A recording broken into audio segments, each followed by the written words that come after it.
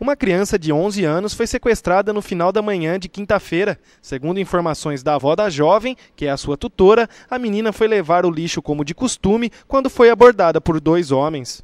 Não, ela foi jogar o lixo ali, igual eu já te falei, ela foi jogar o lixo. Quando ela jogou o lixo, ela viu dois caras que vinham vindo beirando a, a linha, a mato lá de baixo. Aí eles falaram assim que, que eles iam pegar ela. Falou assim, ah, ela, e vão pegar ela? A garota foi levada para uma casa que possivelmente fica no bairro Jardim Martinez. Ela está com algumas escoriações no braço, decorrente de beliscões e apertões que sofreu dos sequestradores. A criança relata que conseguiu escapar da casa e pediu ajudas a populares. Então, eu fui jogar o lixo lá, de repente eles veio, falou, um falou assim pro outro. Ah lá ela, pega ela. Eu saí correndo, larguei tudo para trás, até meu chinelo. Aí quando chego na pista, eles me pegaram.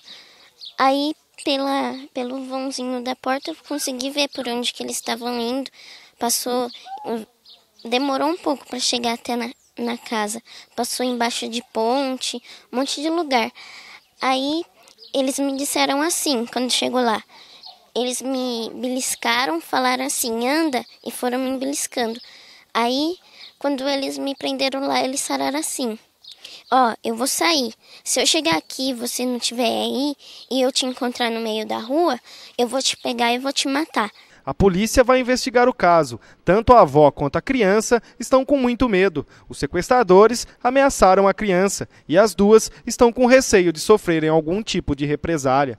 Aí eu consegui fugir, porque tinha um pedaço de pau lá, eu fui batendo na porta, até que a porta caiu, aí eu saí correndo, né, pedindo ajuda. Aí eu pedi água pro moço, que era porteiro, ele não quis me dar. Aí até que eu cheguei na, em uma casa, apertei a campainha, aí a moça me deu água, ela perguntou onde que eu morava, eu falei que eu morava no Hortências. Aí eu expliquei tudo para ela que que tinha acontecido.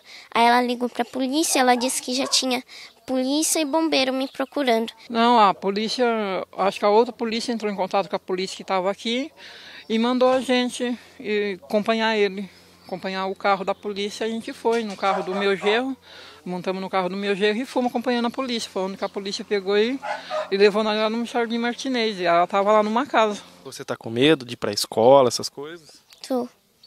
Ah, eu tô com medo que aconteça alguma coisa com ela. Não comigo, né? Porque nós é ela.